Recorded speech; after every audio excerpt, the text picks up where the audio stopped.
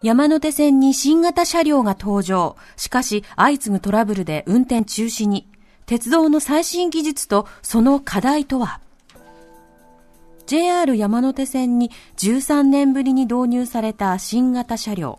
外観がこれまでの車両と大きく異なるほか、広告映像などを表示するデジタルサイネージが車内に多数設置されたことなどでも話題となっていました。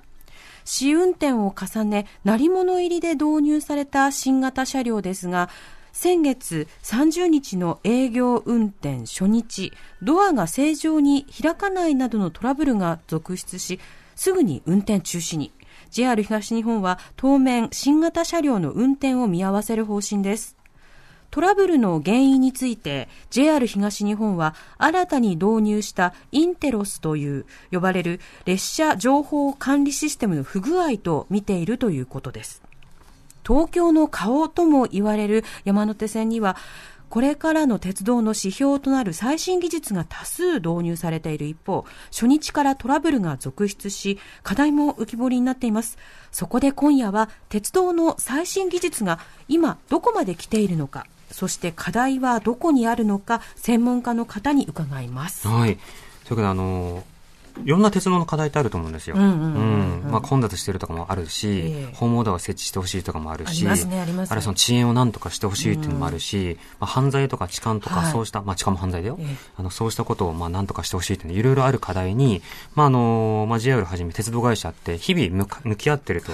思うわけですね。はいはい。で、車両が新しくなるということは、やっぱり今までの車両と単にデザインを変えて、ほら目新しいでしょっていうだけじゃなくて、今までに解決できなかった何かの課題に向き合った結果、そうしたデザインになってると思うんですよね。うん、そうですね。でも僕らは普段乗っていても、あんまり意識しないところがある。うん、なので、まずデザインがどうして変わっていくのかとか、これからはどういう課題に応えようとしているのかという話をぜひ聞きたいのが一点と、ででもそうした、あの新型の機器、やっぱり新しいからね、あのー、まあ、まだまだテスト不足っていうのももしかしたらあるかもしれないんだけど、そのトラブルはなぜ今回起きてしまったのか、はい、その検証結果は今後どう生かしていけばいいのかなど、いろいろね、お話伺っていきましょう。はい。えー、では早速今夜のゲストをご紹介しましょう。えー、交通鉄道技術ライターの川辺健一さんをお迎えしました。よろしくお願いいたします。はい、よろしくお願いします。よろしくお願いいたします。えー、川辺さんはセッション初出演ですので、プロフィールご紹介しますね。はい、川辺健一さん、1970年生まれ、三重県のご出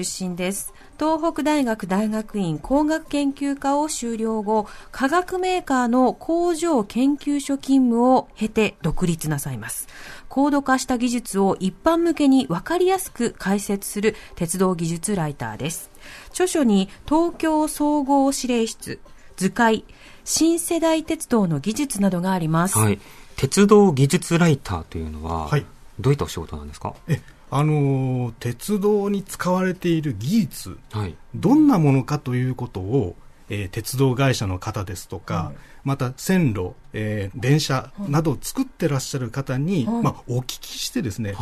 こんなことこんな工夫がありますよとか、うん、こんなこと考えて作ってありますよとか、今こういうことで今工夫してるんですとか、そういったことをですねお聞きして、まあ、お伝え分かりやすくできるだけ、えー、専門や語用語を使わずにお伝えするというお仕事、はい、あの仕事をしております、はい、ど。うしてこの鉄道技術ライターという仕事を選んだんですか、はい、ああのもともとですねあの私先ほどプロフィールで紹介していただきましたけど化学メーカーといってですね鉄道とはちょっと関係ない、はい、えー、化学のメーカーにおりまして、まあ、技術者をやってたんですけどももともと技術を、まあ、一般向けに紹介するという仕事がしたかったんですね。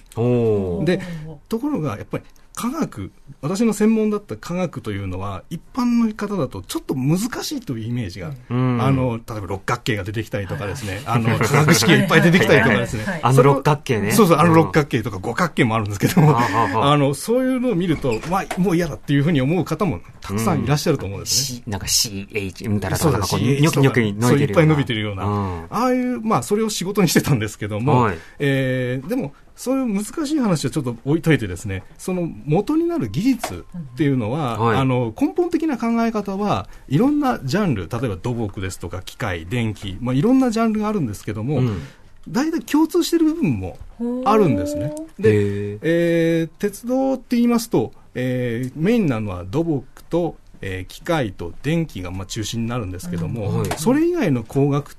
と言われるジャンルも関係してくるわけですね。あの情報もそうですし、いろいろ関係してくると。じゃあ、それをどうやって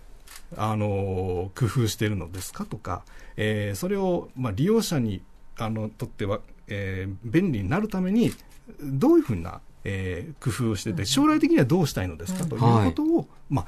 お聞きして、まあ、紹介してその技術の、まあ、根本にある考え方を、うんうん、まあ、なんかお伝えできれば